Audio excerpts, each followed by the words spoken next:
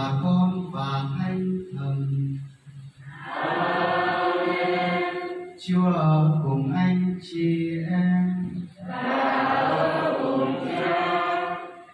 Anh chị em thân mến, chúng ta tụ họp nơi đây để cùng toàn thể giáo hội khai mạc tuần thánh tưởng niệm mầu nhiệm vượt qua tức là cuộc thương khó và phục sinh của Đức Kitô để chuẩn bị tuần thánh trong suốt buổi chay, chúng ta đã cầu nguyện thống hối chia sẻ tình thương và cơm áo cho nhau. Chúa nhật lễ lá hôm nay là ngày kỷ niệm đấng cứu thế vào thành thánh Jerusalem để hoàn tất mầu nhiệm vượt qua, đem lại cho loài người ơn cứu độ. Chúng ta hãy đem cả niềm tin mà hăng hái bước theo người. Xin người ban ơn để chúng ta không phần đau khổ với người để chịu trên thập giá hầu được chia sẻ vinh quang phục sinh và sự sống của người Lời Thiên Chúa toàn năng hàng hưu, xin thanh hiên những cành la này để chúng con cầu lạy mà hoan nghênh Đức Giêsu là vua chúng con. Xin ban cho mọi người chúng con đây là tín hữu Chúa được theo người vào thành thánh Jerusalem vinh cưu người hàng sống và hiên tri muôn đời.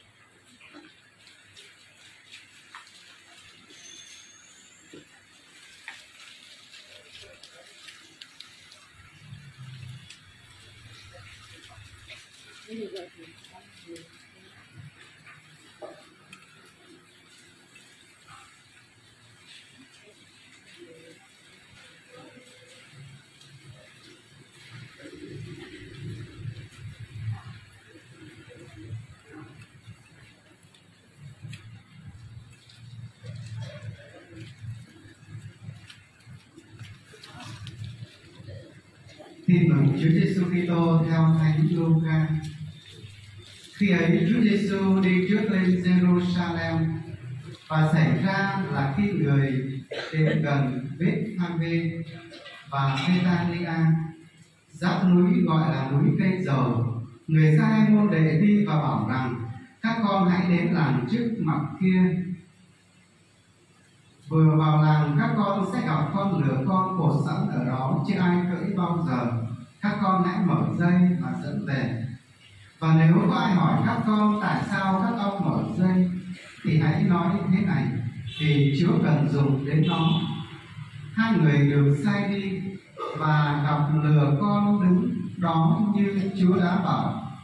Hai ông đang mở dây lửa con thì chúng nó hỏi, sao các ông mở dây lửa con? Hai ông đáp vì Chúa cần đến nó.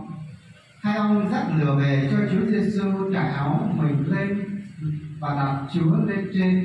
Dọc đường người ta trải áo lên lối đi. Khi người đến gần triển núi cây dầu, tất cả đoàn môn đệ hân hoan lớn tiếng ca ngợi Chúa về mọi phép lạ họ đã thấy. Mà rằng, chúc cùng đấng nhân danh Chúa mà đến, bình an trên trời và vinh quang trên các tầng trời một vài người biệt phái trong đám đông nói cùng người rằng, thưa thầy, xin hãy mắng các môn đệ ngài đi. Chúa giêsu nói, tôi bảo cho các ông biết, nếu họ làm thêm thì những viên đá sẽ la lên. Đó là lời chúa.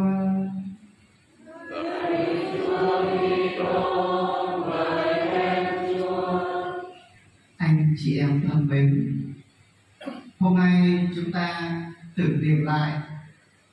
Cuộc rước hải hoàng ngày xưa của dân do thái. Sau khi được ngài cao giảng và làm phép lạ, họ đã đi theo chúa rất đông. Họ đã tung ngôi chúa là vua và thậm chí họ đã trải áo, cầm lá để tôn vinh Giêsu vua vạn tuế tuy nhiên, sau đó, dân do thái lại đảo được, đòi tống đinh chúa, đòi giết chúa, và cuối cùng, chúa đã tải đón lấy sự phạm tội của dân do thái. Hôm nay chúng ta nhớ lại cuộc sống của chúng ta. Có thể chúng ta cũng có lúc tôn vinh chúa, nhưng cũng có thể có những lúc chúng ta chưa tôn thờ và sống những điều chúng ta phục vụ. Chúng ta hãy ăn năn và giờ đây cùng với dân do thái, chúng ta hãy tiến bước để tung hô đức giêsu vua vạn tuế